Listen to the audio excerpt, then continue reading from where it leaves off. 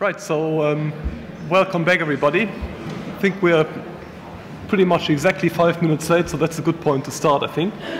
Um, our second panel is about competition damages litigation, um, more specifically, which obviously for, I think for most of the people in this room is at the moment only pretty much of a, of a booming industry, so to speak, both, uh, both for the lawyers and for the economists.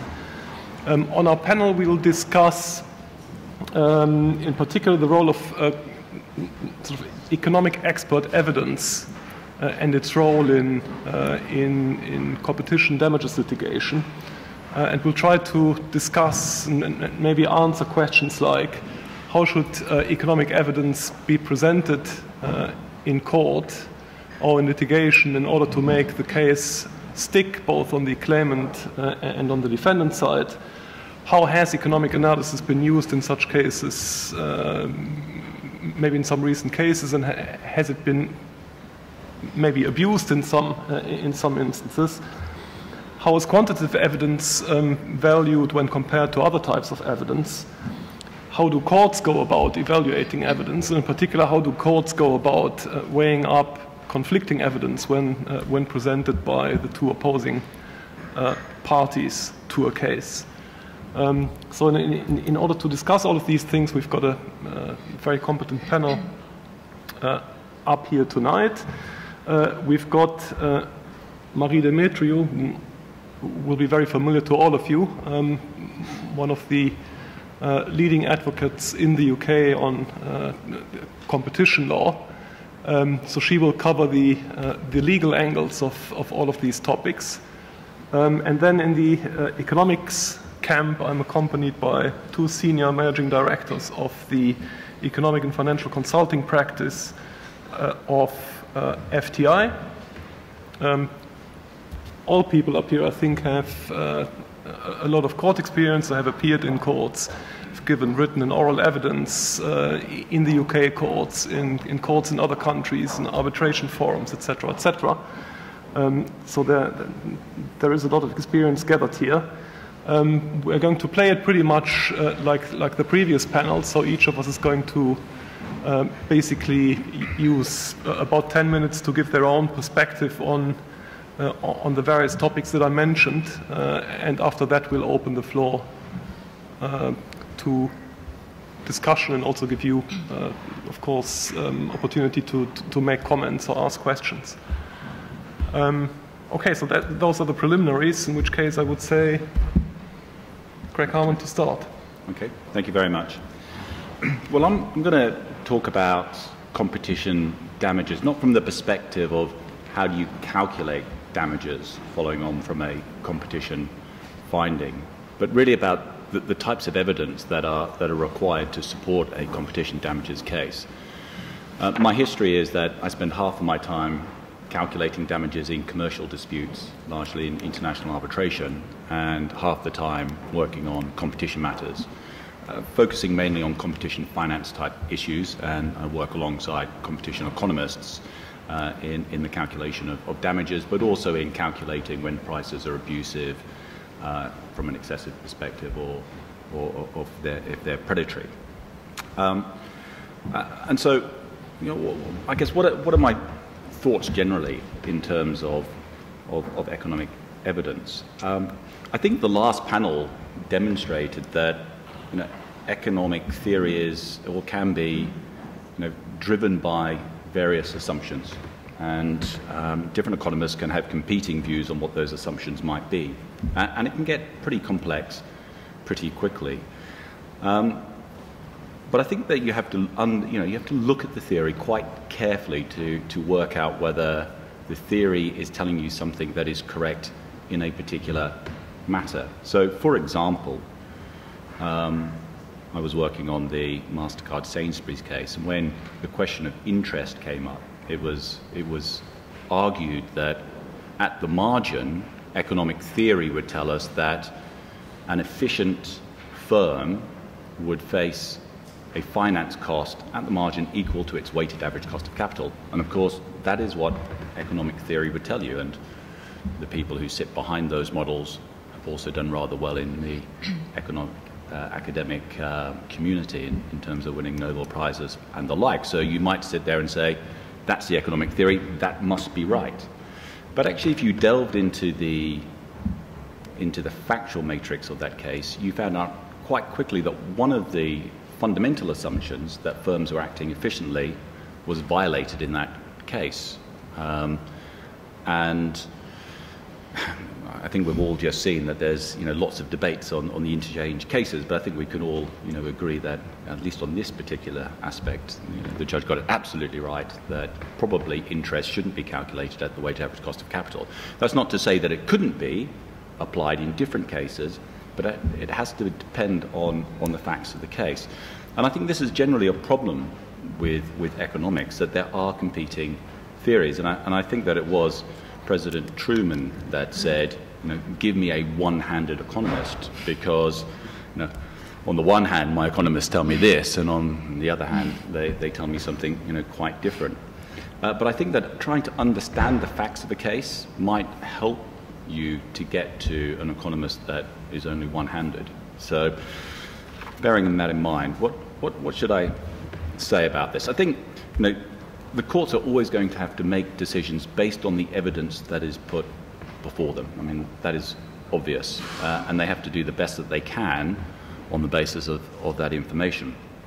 Um, and, but what I see a lot in cases is that people put forward economic theory, and that's as far as they go. Academic theory tells me this, but they don't support it with anything else. Uh, and I find that if you don't put the positive case forward, if you don't find other evidence to support that theory, then that can lead to some dire consequences. So I worked in a very large case um, in South Africa a couple of years ago, an excessive pricing case between Sasol Chemicals, uh, brought by the Commission of South Africa. And uh, the Commission just didn't put a good case forward. So pretty much on every single argument that they raised, we had very many points that said that's, that's just not right. That's not the way that you should frame this test.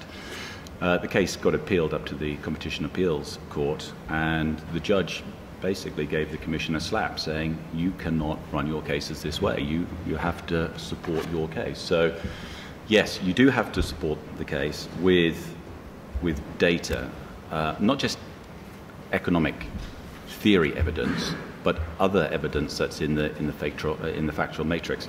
So, one thing that I'm finding as a trend generally is that accounting data can be used by the judge and relied upon the judge because at least it has an objective beginning to it. It is information that is produced by, by the firm on an annual basis, it's audited, um, and I, I, see cases where quite a lot of weight gets placed on, on, that type of evidence. Um, again, in that Sasol case, uh, the starting point from, from the economics perspective is that the, the law says that uh, an excessive price is a price that bears no reasonable relation to economic value. And in the case law, um, the, the judgment has been that what does economic value mean? It means it's a, it's a price that you would observe in a competitive market, in a notionally competitive market, which obviously has the economists absolutely salivating because that's exactly what they would think about economic value and how prices are derived. But then, of course, that led to hundreds of different counterfactuals and but-fors about what would that competitive market be. Uh, and I think it was commented that you know we were going into different parallel universes because you know one just didn't know. Um, once it got up to the competition appeal court, the judge effectively said, well, all of that theory is, is helpful to an extent, but I find it difficult to rely upon. And in this particular case, given that we're dealing with a, a, a dominant company, then obviously the monopolist costs have to be relevant. That is the market that we observe. So, as a starting point, we are going to take the monopolist costs and we're going to consider that adjusted to economic costs as a basis for determining what economic value would be in this case, bearing in mind that prices might be above that minimal benchmark. But it's interesting that there was this focus on objective information. So, following on from that, it's not just about accounting data, but I think it's other forms of data that are vitally important. That once you get into the factual matrix, there's a rich vein of information from budgets, pricing documents, management accounts, strategy documents, investor communications. And I think that the role of an expert is to take their economic theory as the starting point, because obviously that tells us how we should frame our analysis. But then you have to look to these other sources of evidence to see if everything is pointing in the same direction. And I think there's a whole wealth of information that can be found in, in that documentation. So, what else do I think that expert evidence should do? I mean, I think that whatever you put forward has to have some degree of common sense, it has to make sense, it has to have intuitive appeal. So I was working on a large airline case between uh, British Airways, Comair, and South African Airlines uh, in a follow-on damages case after uh, an infringement in the travel agent market. And effectively, what the other side, South African Airlines, argued was if we look at the market share of this company over time, we observed that it fell. And you say that it was because of this infringement, um, but we don't believe that is the case. And if we look at the ex post period, that as soon as the infringement stopped, we don't see any bounce back in demand. There is no bounce back, and we conclude from that that this infringing scheme had no effect at all. Otherwise, it would have bounced back. So I raised, you know, the rather obvious point is that airlines have frequent flyer programs, and if you capture a client and you a customer and they get onto your frequent flyer program, there's going to be a bit of stickiness in the marketplace. There's going to be a lingering effect in the marketplace. They argued absolutely not. So, you know, there was a bit of back and forth um, on this in cross examination. And then the judge leant forward and went, Oh, are we talking about frequent flyer programs? Well, I have one of those. I'm on South African Airlines, and I would never fly BA Comair because of it. Right? And you knew at that moment, you know, you're on, you're on for a bit of a winner when the judge is siding on, with you. Um, but then, I mean, this, this is a good case, I think, of, of what not to do in, in expert evidence. The, the next, I think, trap that my um, my fellow expert on the other side fell into was, was trying to hoodwink with spurious relationships by looking at correlations and suggesting that there was some causality between them. You know, so what do I mean by that? Well, you know, there is a statistical correlation between eating ice creams and the number of deaths by drowning in the summer. Uh, well, yes, there is, but the missing variable there is, is the fact that it's summer, and in the summer, lots of people are eating ice creams and swimming in rivers. Uh, and it came up in this case again. The issue here was is that during the infringement, uh, and we could see that demand was falling for BA Comair, they, Comair also launched a low-cost carrier. And so economists on the other side went, ha ha, your fall in market share was because of this low-cost carrier. Uh, it obviously cannibalized your, your demand, and now you're trying to, to claim damages from us. But it was a spurious correlation because if you looked at the data carefully, you saw before the entry of the low cost carrier demand was falling. And that actually, when the infringement stopped, the low cost carrier was having no effect on BA Comair's market share. So, and there was a whole other host of other information and evidence to suggest that that wasn't the case. But the expert was just completely blind to this and had just tried to palm off some simple correlation. And it can be rather fatal to the case, as it was in this case, that um, that none of their information was, was relied upon. Um, uh, you know, for me, I'm guided by CPR, you know, 35, and, and most experts should take that very, very seriously. Um, and one of the points that you know I often reflect on is, is, is, is telling the whole story and not trying to only tell half the story. And so you often see that people are selective in the evidence that they give, kind of selectively looking at information to confirm the evidence that they want to put forward, so-called confirmation bias. But I generally think that that is, I think that's fatal to your case because if somebody points to an article and says, look, it says this, do you think I'm not going to read that and read the next two paragraphs down and say, but it says something completely different below that? You know, why haven't you said the, the full picture? So uh, you see that a lot. And, and I don't know whether it's because uh, in the competition damages space, it's a newer thing than in the commercial damages space. I don't know. So maybe some people are still learning their trade. Don't know, but but see it a lot. I think the last thing that I would say in terms of you know what does a well prepared damages case looks like, you, have got to you've got to sense check the outputs. Uh, pretty much in any claim of this type, you see the classic hockey stick kind of graph where it says, you know, but for the infringement, my sales would have gone absolutely through the roof. Once you start to look at those trends, you can say, well, how is it that you could grow at 20% forever but for this infringement? And you could have had margins of 50% that when prior to the, uh, the infringement you had margins of, of 10%. So the, mo- the more that you can do to sense check, even if it's only a simple sense check, I think that you're giving the judge or the tribunal more things to say, well, that looks reasonable because all of these other pieces of, of evidence align. Um, we meant to talk a little bit about deceptions in, in written evidence. Um, I think in economics it's difficult because you know, some of it is about belief. Economists can have different thoughts because they believe different things. They could be an antitrust hawk versus an antitrust dove. The question for me is, is at what point does that belief, you know, become a deception? And I think for the honest and competent expert, that that shouldn't happen. Um, an expert that values their career, you know, wouldn't fall into this trap. Um, you know, I, am always still taken by, by what Justice Laddie said you know, 20 odd years ago when effectively said, you know, the judge is not a rustic who has chosen to play a game of three card trick.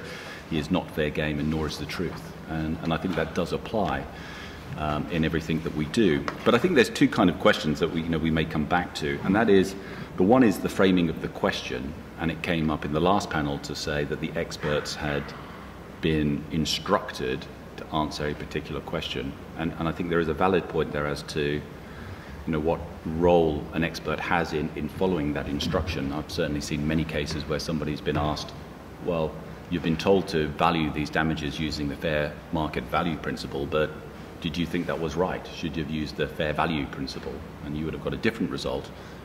So the expert says, yeah, but that's not what I was instructed. Mm, the court can then turn around to you, but, but I might have found that helpful if you had said something about it. So, that, so that's a difficult area for, for experts. Uh, and I think the, the last area is when an expert starts to put a boundary around what his expertise is. Um, and, and you may often think the question, why have they done that? Are they trying to hide something that they don't like? So I've been on another case where there was an, uh, there was an accountant and an economist.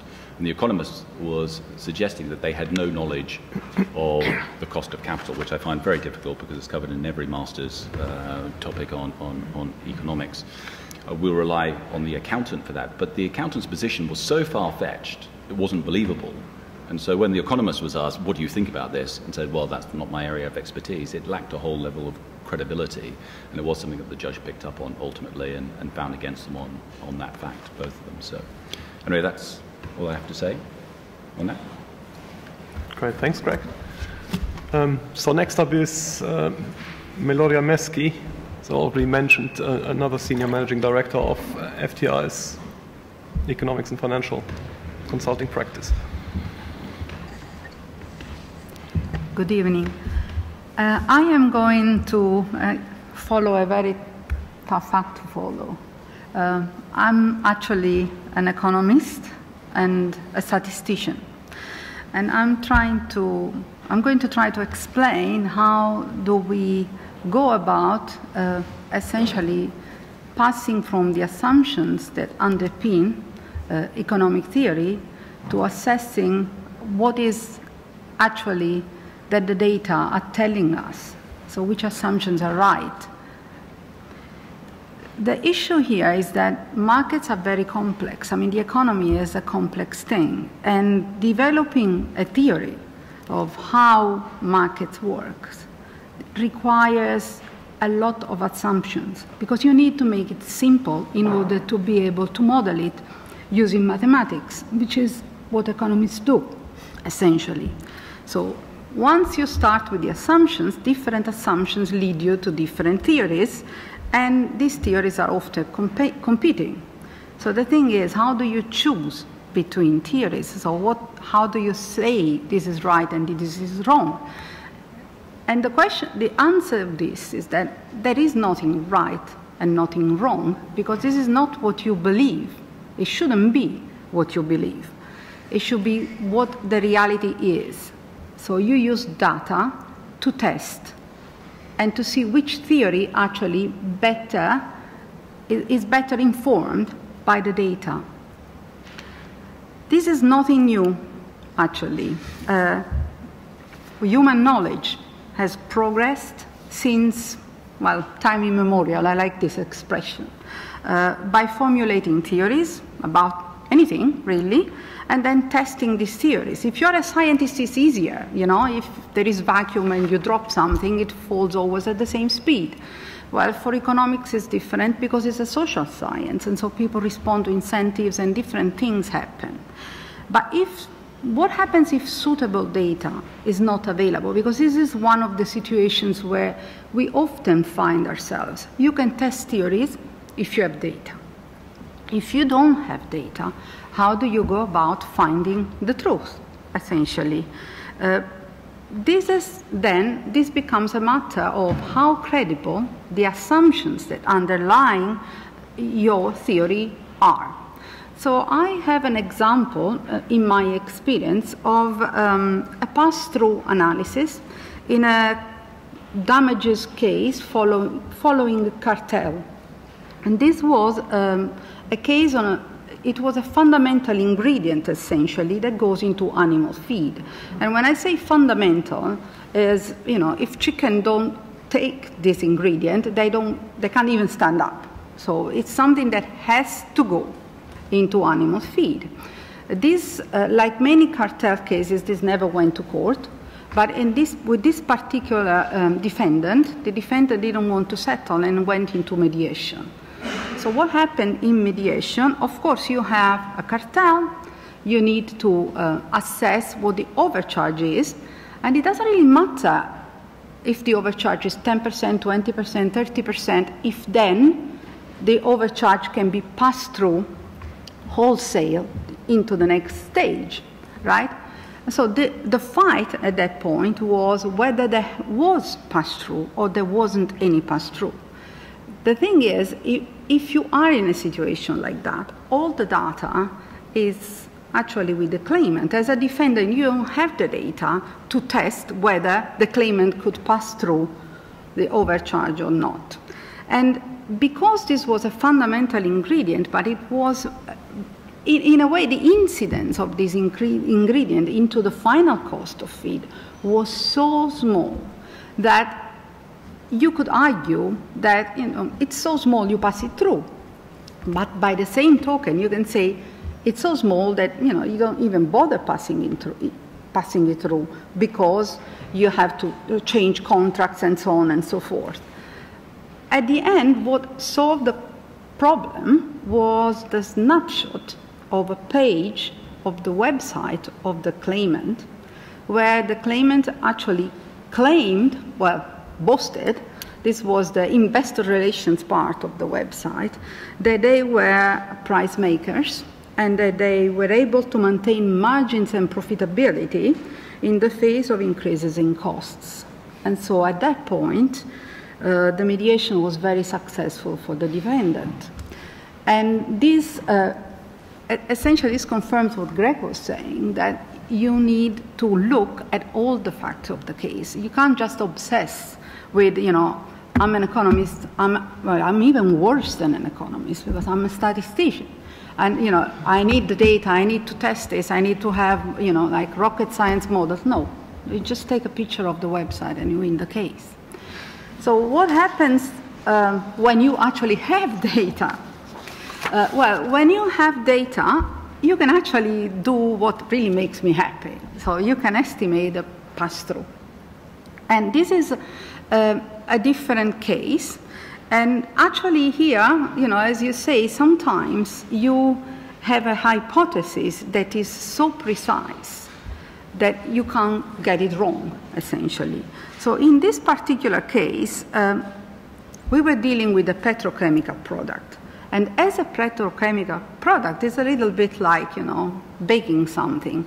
There is so much input into so much output. And in this particular case, it took 1.3 units of a certain input to produce one unit of the output. So the, the, the test was, the hypothesis was very simple. So for, if you have a $1 change in the input price, you can expect a 1.3 change in the output price, uh, you know, if you have um, a, a pass-through, full pass-through. And of course, there can be temporary changes in demand, uh, or there can be sudden uh, changes in input prices. And the equilibrium relationship between the two gets changed. And so, how does uh, how do you test this? Uh, the idea was that economic theory would say that disruption wouldn't last long. So, in the long term, you end up having the same kind of relationship. You know, one dollar of input, 1.3 for the output. And the, the, um, the thing here is you know, in the long run, Keynes once said that in the long run we're all dead.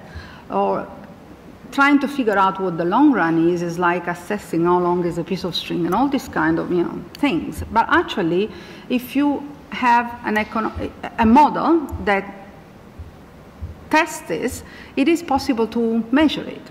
And so we had two questions. The first question was when the price of the input changes by $1, by how much um, does the output price change? And the second question was how long does it take for this change to take effect?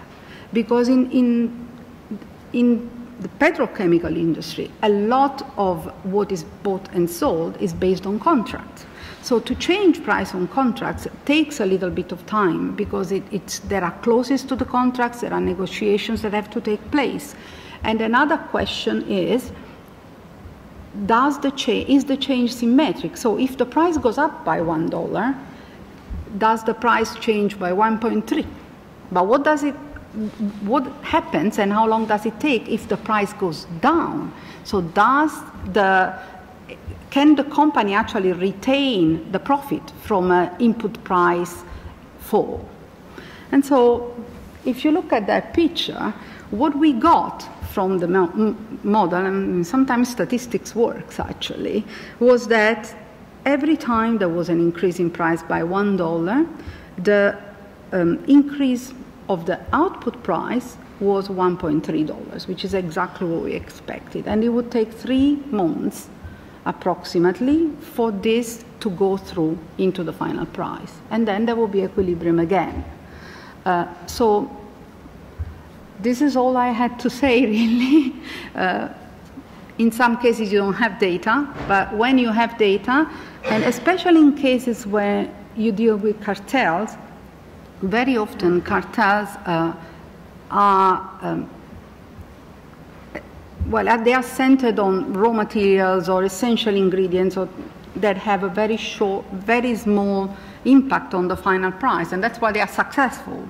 Uh, in, that, in those particular cases, it's, it's much easier because they are not complex cases, such as the trucks, for example, um, to estimate overcharges and also to estimate pass-through.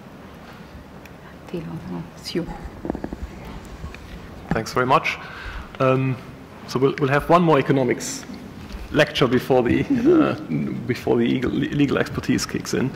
Um, I'd just like to spend a few minutes to talk about, um, well, actually a hobby horse of mine, uh, which is uh, the relevance of the concept of statistical significance uh, in the context of estimating cartel damages.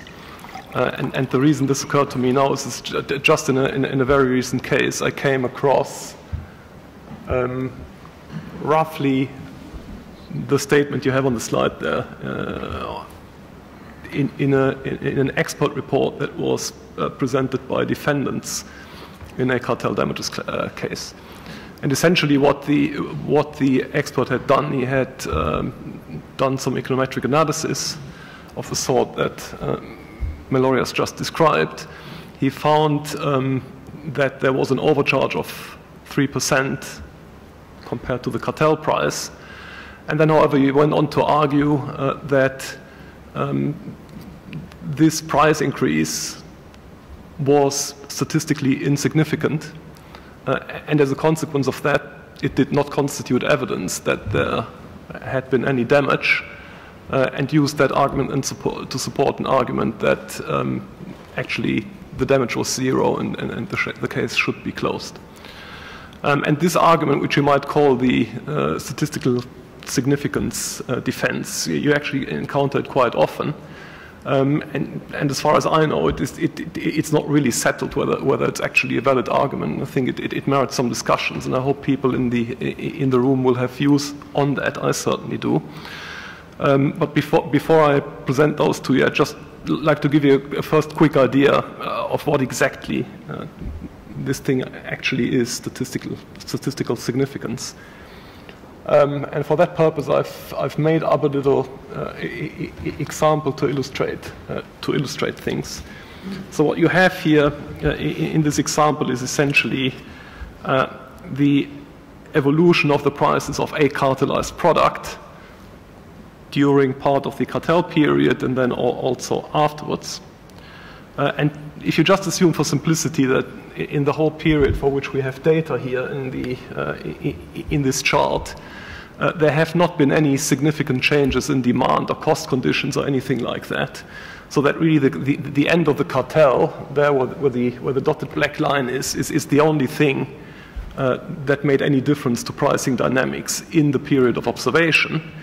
Um, if you can assume that that's right, and let's just do for simplicity that it is right, then uh, the uh, price that you observe after the cartel ended should be a good benchmark for the counterfactual price, i.e., the price that you would have observed during the cartel period if there had not been, uh, if there had not been any um, cartel. Uh, and so basically you can do what all economists call a during and after comparison. So you just compare prices during the cartel with prices after the cartel, and the difference gives you an estimate of the, uh, of the overcharge. So that's what you have here. Now, there's one, uh, one additional issue to consider, though, which is that uh, in this chart you see quite a, a, strong fluctuation of prices around the, uh, around the period averages. Um, right, so you, you, see them go up and down. Um, and what that means is that it, it, will create some uncertainty as to how accurately uh, sort of these averages actually measure the cartelized price level uh, and the counterfactual price level. The way of thinking about this is um, if you just assume you have done this analysis and suddenly uh, out of a cupboard comes more data. So you find a, bit, a little bit of additional data, which is, which is on the next slide uh, which allows you to look at a longer time series. So basically, you recalculate, and suddenly you find that uh, with more data, uh, suddenly the cartel price on average looks a little bit lower, and the uh, counterfactual price looks a little bit higher, and as a consequence, you suddenly estimate a very much smaller uh, overcharge. And of course, that, that, that, casts some doubt on the, uh, on the reliability of the overcharge itself. And when you can, you can think this further, uh, and you can easily imagine uh, examples that are very plausible where you get even more data, all of the prices which sort of fall roughly in the, in the ranges that you find here and that they are therefore plausible, uh, where the overcharge gets smaller and smaller and ends up being zero. So in the end, what you have here is you have a situation where you measured an overcharge, but you know that there is some probability uh, that you overestimated it and that the actual overcharge is uh, that the actual overcharge is zero. So basically, you're committing a type one error. You're finding a problem where actually there isn't one. So how do econometricians deal with that problem? Um, essentially by statistical testing. Um, so there are statistical tools to assess this. Uh, essentially, having produced a point estimate of what the, uh, of what the overcharge uh, might have been, you can then use the same data to do an additional test, which is the significance test, basically. So essentially, you, you ask the data, um, what is the likelihood of observing an estimate as high as the one you, that you found, or even higher than that, under the hypothetical assumption that actually there is no problem. So you, you, you assume, the count, you, assume uh, that it is true that there wasn't actually an overcharge, and ask how likely is it that I will observe something as extreme as I have observed. And then essentially the, the, the test consists of uh, estimating what that likelihood is, how high is it, and then uh, judging whether I think there's a very high likelihood or there's a very low, low likelihood of, of that type 1 error occurring. If the type 1 error occurs, is found to occur with a sufficiently low probability, below some previously uh, established threshold, then we say uh, we, can, we can reject the uh, assumption that the uh, actual overcharge is zero and we accept that there was an overcharge and we accept the point estimate. If the uh, likelihood that you get a type 1 error is very high, then you are not able to uh, reject the hypothesis that there wasn't an overcharge. Uh, um, so you cannot reject it, and therefore you don't trust uh, your own point estimate. And that's the whole discussion about significance uh, levels. How, how, likely is it, given the data that I, given the point estimate that I have, given the fluctuation that I see around the uh, point estimate, how likely is it that, that, that it might still be the case that really nothing has happened? And that's essentially the argument. That's what you often see in, uh, in defendant uh, expert reports. They find an insignificant result, and therefore they say there's no evidence uh, we should be acquitted. And basically, that's the question do we accept, uh, do we accept that argument? Uh, the, the issue is certainly controversial. It would be very interesting to hear your opinions about that, including on whether these things, uh, how intensely these things uh, get discussed, especially in the English course where I'm not doing all that much work. Um, but my personal view is that, uh, especially in the, in the context of estimating cartel damages, especially in, if it's a follow on case, uh, then the question of whether the result that you're finding uh, is statistically significant or not should really be uh, second order. And the main reason I think, uh, I think that that's the case is basically that, especially uh, now that uh, in, in, most cases the damages directive has been, uh, has been uh, implemented, implemented it, it is very hard to sort of marry the uh, the argument of the uh, statistical significance defense with the presumption that cartels cause harm. Right, so essentially we, ha we have a situation where uh, so, so, the whole case starts with the presumption that uh, price fixing cartels, etc., cause harm. Uh, in a situation like that, if you have produced a, an econometric analysis that is technically sound, that relies on the best data that you have had available, that doesn't make any dodgy assumptions, uh, and you get a point estimate, and that's really a, arguably the best point estimate that, that, that is available, um, then the fact that there is some uncertainty around it and there is some likelihood that you, that you have overestimated something uh, should not be sufficient uh, to rebut the, uh, the, the, presumption that actually the cartel will have, will have caused uh, some degree of harm. Uh, and it would be appropriate to go with the, uh, with the point estimate even, even if it's not statistically significant. I mean, you, you can think this a little bit further if you think in terms of the, of the things that determine whether you're going to find a, a significant result or not, um, th then it may become uh, even clearer. So basically, the three drivers of uh, significant versus non-significant uh, is, first of all, do you find a large overcharge or a small overcharge? So clearly, the, the closer you get to zero with your estimate, the more likely it is that you will get uh, an insignificant result. But that would be unfair because essentially it shouldn't depend on whether somebody suffered a small or a large overcharge, uh, whether, whether in the end it gets quashed completely or he, or he actually gets something. So I think that that, that would be a problem in and of itself. Um, another thing that, uh, that determines um, whether or not you get a precise result, a significant result, is, is uh, the number of data points that you have available for your uh, analysis. And again, I think it would not be correct uh, that, um, that, that, claimants uh, should uh, essentially bear the cost of the fact that more data was not available, especially if the, if the absence or, or presence of a lot of data doesn't really mean that uh, the, the, the result is biased in, in, in one way or the other automatically. Um, so that would be the position. Be interesting afterwards to hear what, what people think about that. And with that, I'd Thank pass you. on to Marie. So I think um, most people here will have had direct experience of how challenging and tricky it can be for judges to determine questions of economics. And um, Neil Dryden's discussion on interchange provides a perfect illustration of that.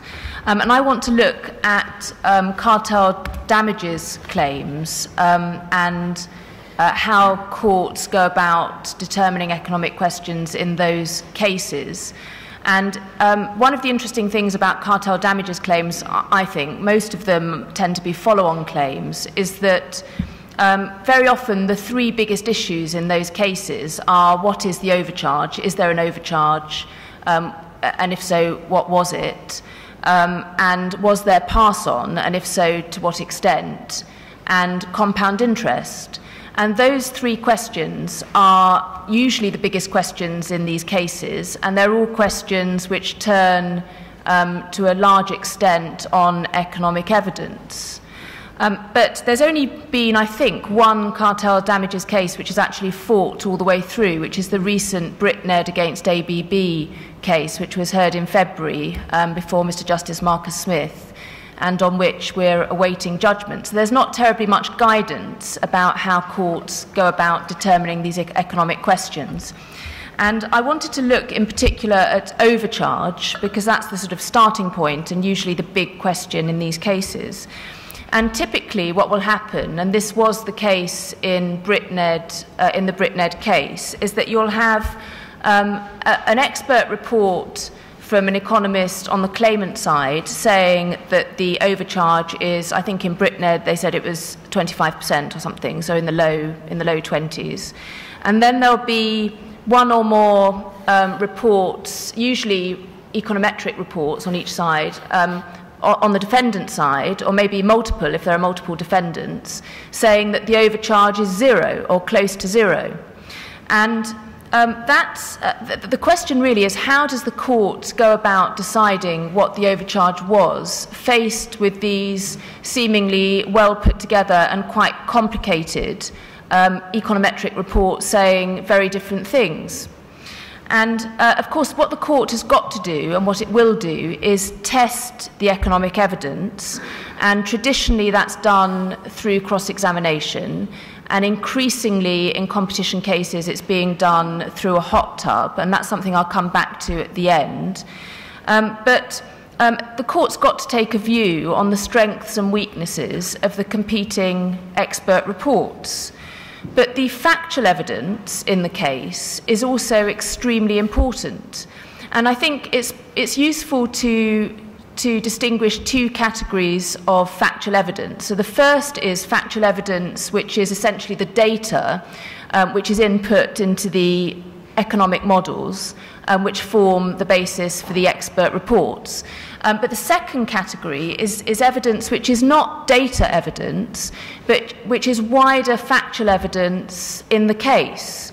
So, wider factual evidence about the operation of the cartel and the market in which the cartel operated. And this might include, for example, contemporaneous documents um, from the cartelists about the mechanics of the cartel arrangements or the expectations of the cartel participants about how effective the cartel was going to be. And I want to focus on that second category of evidence because um, sometimes I think economic reports um, don't sort of place as much weight on that wider evidence as they might. And I think that that wider evidence is very relevant and very important. Um, why, why do I think that? Because the court has got to decide ultimately what happened. And it won't want to take a decision, the court won't want to take a decision that is divorced from reality or from the facts of the case. And let's say, for example, that one of the experts is saying, as in, um, as in Thilo's slide, that the overcharge is zero or very close to zero.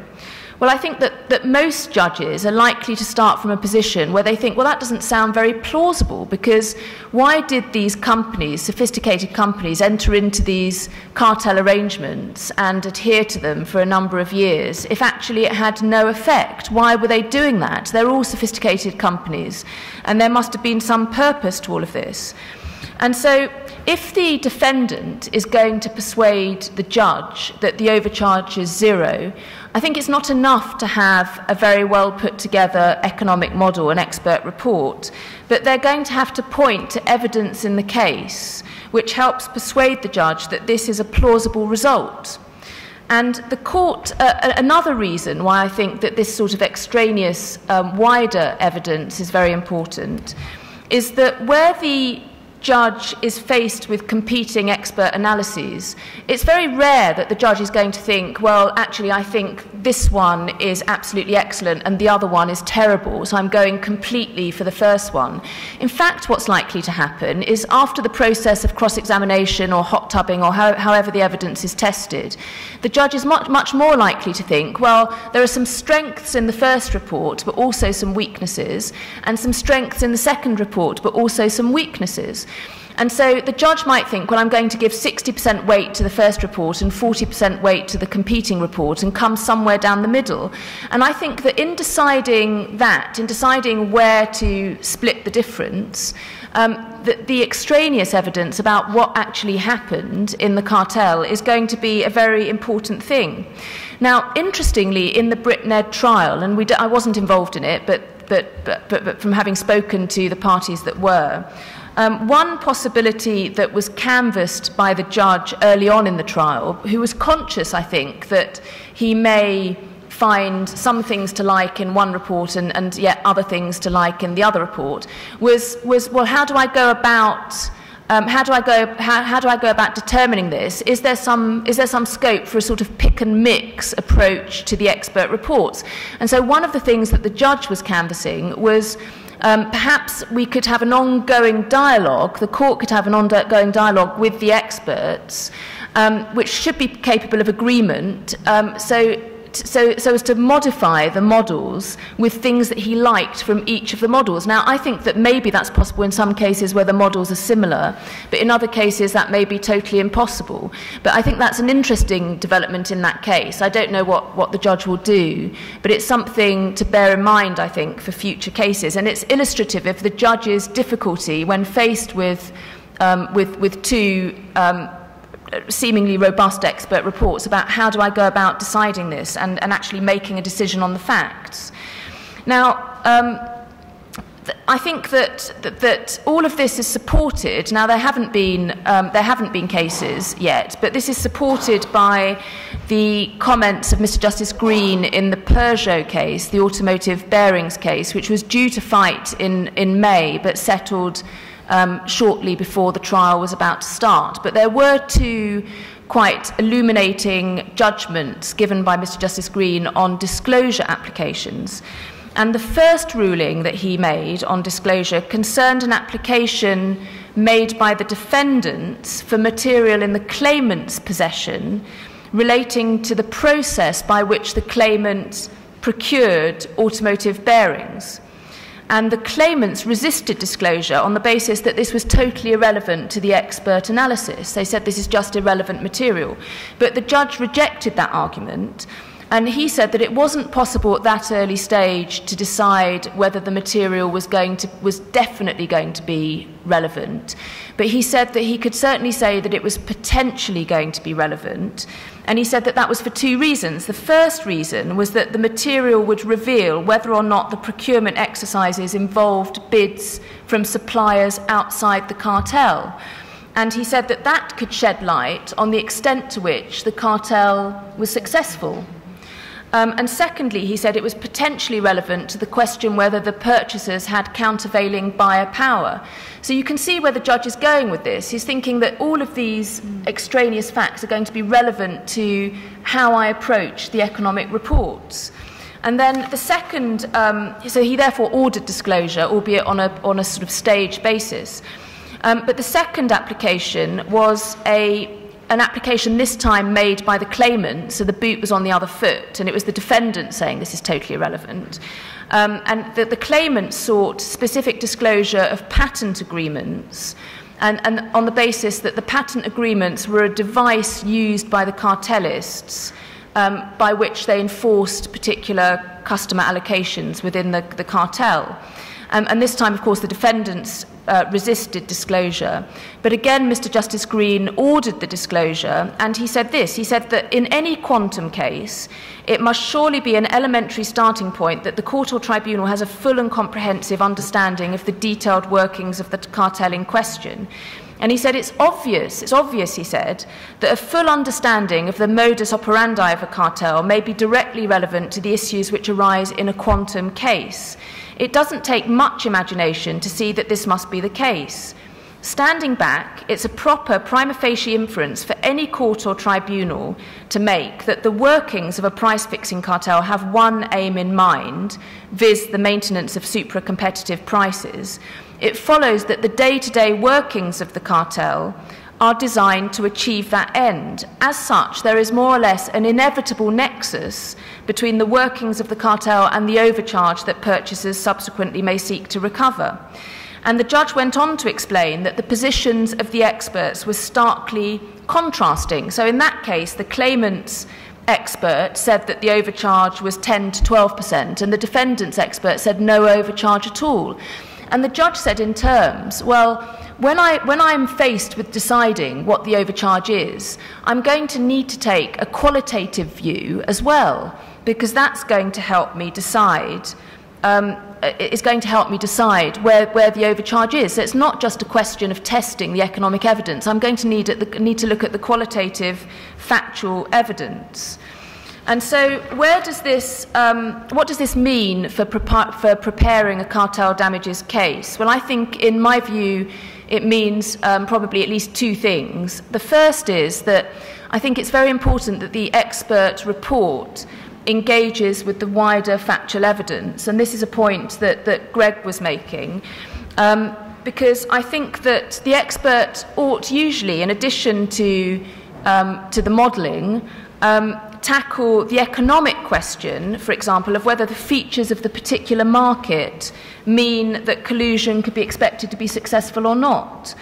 And so, for example, was there, was there price transparency? Did the cartel cover the whole market, or were there significant market participants that were outside the cartel? Did the purchasers have buyer power? Were there substitute products outside the cartel? All of these are points, I think, on which the expert should be asked to opine. Um, and then, secondly, I think it means that evidence from factual witnesses and contemporaneous documents is going to be really, really important. So, for example, how detailed were the, were the cartel arrangements? Were the terms very clear and specific, or were they looser? Could the cartel be easily monitored? Was there cheating or, uh, or some sort of absence of enforcement? I think all of those types of evidence are going to be really influential in um, persuading a judge in relation to the likely overcharge.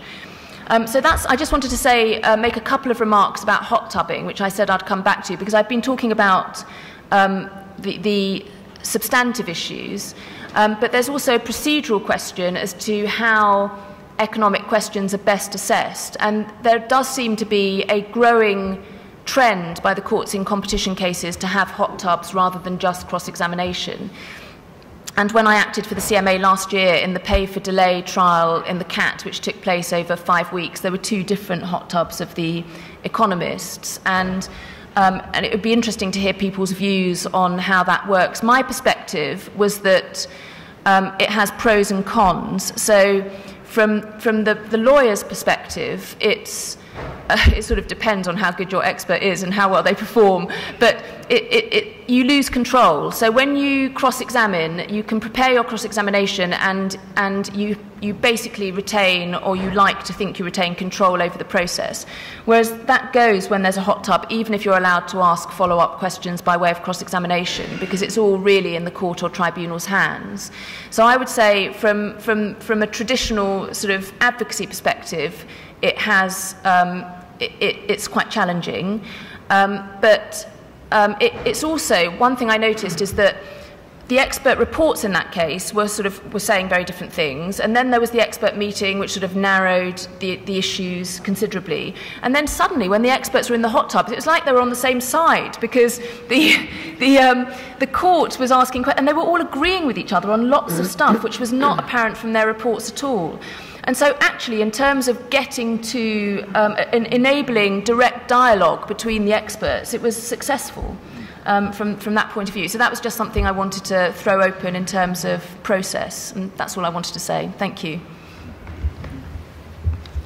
Great, thanks very much. Those were the lectures. So, um, any questions from the audience?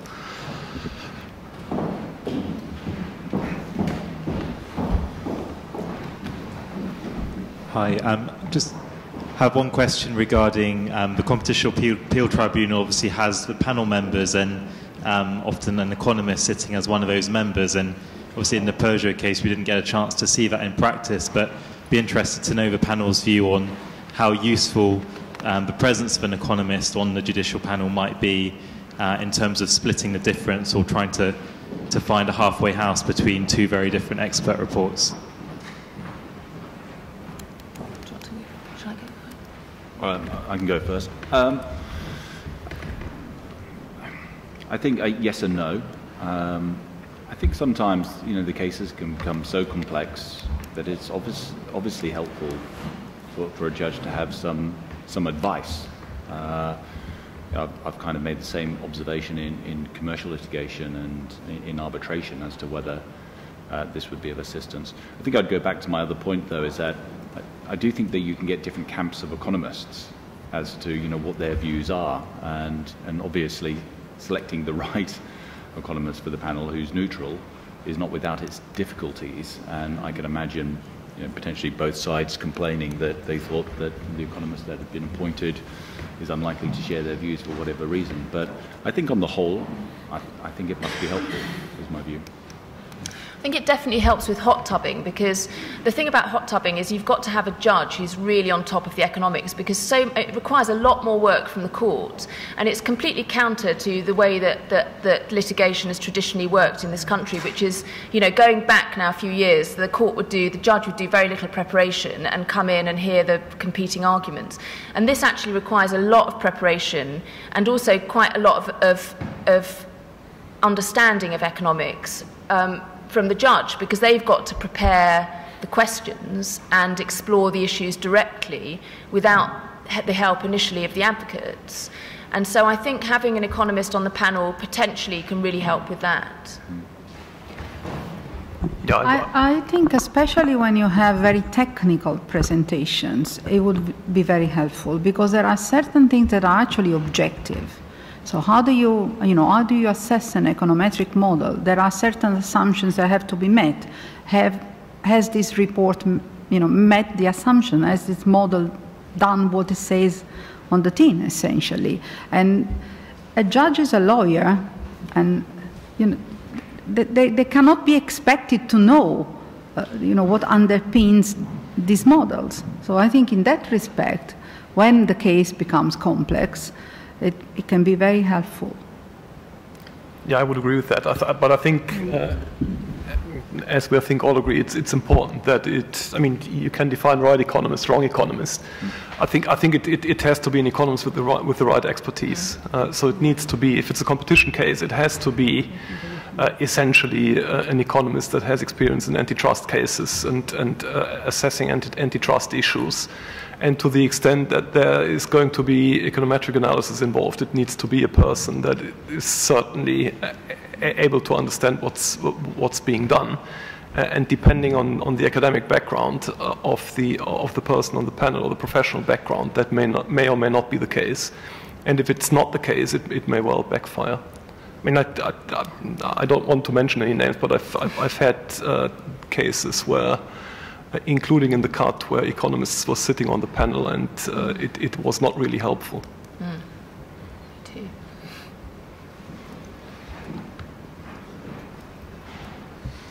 Hi there. Um, just wanted to ask a question about uh, hot tubbing. Um, so various of the panel members earlier have, have talked about how it's useful to combine uh, both uh, some of the economic and econometric evidence uh, alongside some of the factual evidence and, and, uh, industry evidence in coming to an overall view. Um, in that light, do you think it might be helpful to have uh, some mixed hot tubs with both economic experts and factual experts?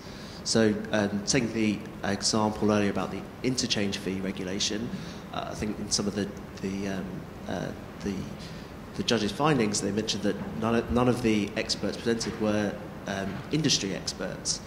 Um, do you think it might have been helpful, for example, to have um, an economist giving views alongside someone who might be able to talk from an in- industry perspective, whether or not, um, in their view, that might be might uh, some of their um, opinions might uh, make sense. I mean, um, I guess the way it generally works is that the judge is the arbiter of the facts, and and so we tend not to have sort of factual experts as such because the judge decides the facts. However, um, I think you make a good point because the CAT has scope for so you have the chair who's a lawyer, and then you have um, the economist member. And I'm not sure what the rules are, but I, I, think, I mean, generally speaking, the third member has tended to be another lawyer. Um, but I'm not sure that, that that's necessary, and it may well be that in a suitable case it would be useful to have someone with industry specific industry experience. And you find, for example, in employment tribunals, that's the case. So you normally have in an employment tribunal, you have the legal chair, and then you have someone from a, a, an employer's association or with industry expertise from the employer's perspective, and then equally somebody from uh, an employee perspective, usually. That's usually how it works. And so I think that might be, I mean, there, there could be scope for that in the CAT, and it might be useful depending on the case, particularly if the issue is very arcane factually. But generally, judges tend to be pretty good at deciding factual disputes, I think. And I have a question to, um, to Greg. I mean, you, you, you talked about uh, one of the root causes of some sometimes economic evidence being presented that's not well married up with the facts, so that in the end ends up not being effective because uh, it, it, doesn't seem to address the right question, mm. or that divergences appear because different people get to answer different questions, and um, experts refuse to answer certain questions because they don't affect or that they're, they're not that relevant to the question that they were instructed to answer. Um, I mean, what, what's your experience there? Uh, the questions of instruction, who drafts them? Is it, is it the lawyers? Do you get an influence? Uh, do you propose them and they get discussed? Uh, what's the process at, at, at, arriving, sort of the framework of what, you, what you're actually supposed to, uh, to analyze? Gosh, that's a tricky question. Uh, yeah, it's always the lawyers who, um, who obviously instruct you. Um, you know, I don't know. I mean, it's, it, it's. I think things become apparent in cases, you know, potentially quite quickly, that, um, especially when you're in the world of counterfactuals. You know, some counterfactuals may turn out to be better for you than, than other counterfactuals, and, and that may come out very early in, in, in, in discussions. Um, I think clearly the counterfactual that is put forward has, you know, has to be legally driven because it has to fit with the legal case and with, with the factual case as well. And obviously, many of the factual points are outside of the expert's uh, domain of, of, of, expertise. But I still think that on, you know, at the margin, you know, there are, there are some things where you think as, as an expert that could have been done differently. Uh, it, you know, that's just what happens on, on mm. cases.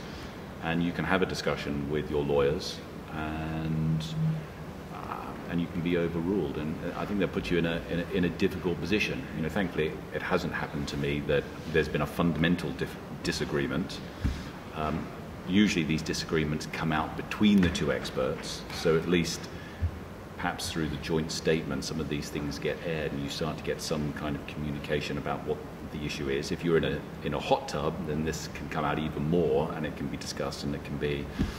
Um, but as I said, you know, my, um, you know, my kind of example during my speech is if you're doing a damages case, if it was like a shareholder dispute type of case, you know, you have to you have to determine what the, the valuation standard is.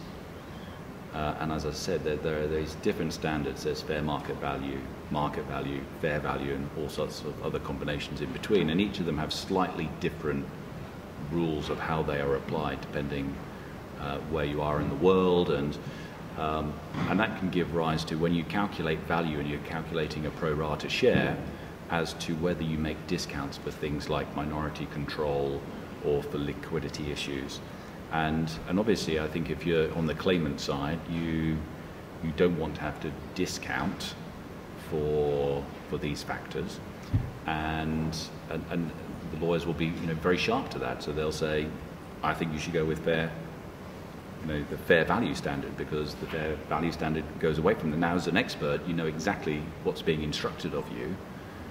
Um, and so I think it then comes back to this difficult question as to is it just simply a matter of instruction or is there anything that you can add as an expert that might assist the court? And sometimes it, you might be able to say something that might assist the court. So if you were in a, a situation where you're under a fair market value is being argued, you might say the nature of this dispute is such that you are compelling the shareholder to actually sell their shares into potentially an illiquid market when actually in the counterfactual scenario they wouldn't have sold the shares they would have just maintained ownership and therefore there should be no discount so as an expert sometimes you can add some value to that, and you can put that in your report and say, well, even if I was instructed on, on the other value, I don't think it would have much uh, importance to my calculation for these reasons. But I think it is, it is a difficult thing, and, and I've often seen experts cross-examined by saying, why didn't you look at that? And it just leaves, just leaves you in a bit of a, you know, yeah. tiz really as to how you answer it. I was instructed, but difficult. Okay. John.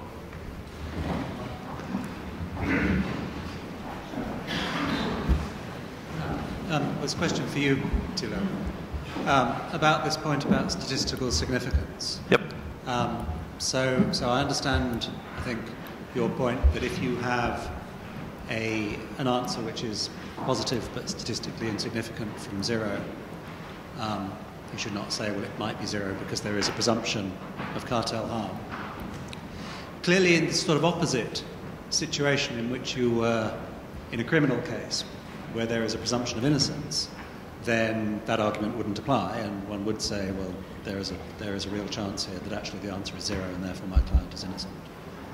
But what happens if we're in between? What if you're, how, does, how, would you, how would you assess the same sort of argument in a civil case in which there's no presumption on either side, it's just the balance of, of probabilities? how would you how would you use statistical significance? To what extent does statistical significance relate to the kind of balance of probabilities that, that decides the case? Yeah, I think I think I think it's clearly different there. So in, in that case, statistical statistical significance certainly is, uh, is, is a factor, and you would have to take it into account. Now, to my knowledge, uh, nobody has as of yet squared the circle and, and come up with uh, with sort of thresholds as to which, which should be the levels of, uh, of significance that should be used in these, in these tests and so on. Uh, that'd be an interesting, uh, an interesting question. I don't know. Would be interesting to if anybody's got experience on that. I don't. Uh, but, uh, but, but clearly, it's, it's, it's, it's to be taken into account in those cases. Well, there, is, uh, there is in America, there is the reference manual for the courts, and there are three levels. So the standard is 5%. And then, but there are circumstances in which you may be more stringent, and it's one, or more lenient, and it's 10. But I, I think it also very much depends on, because what Thilo was saying before, it very much depends on the data that you have and on what you are testing. Because, for example, if you are just testing two averages, and you have very, very small samples, I get two samples of 20 people, then you're much more likely to find that, you know, they are the same because you need a very big difference for it to be statistically significant. So it depends on the data that you have. If you have 10,000 people, you need a tiny, tiny little difference, and it's statistically significant. But for the course and for regression analysis, it is 5% usually. Uh, that's according to what they do in America.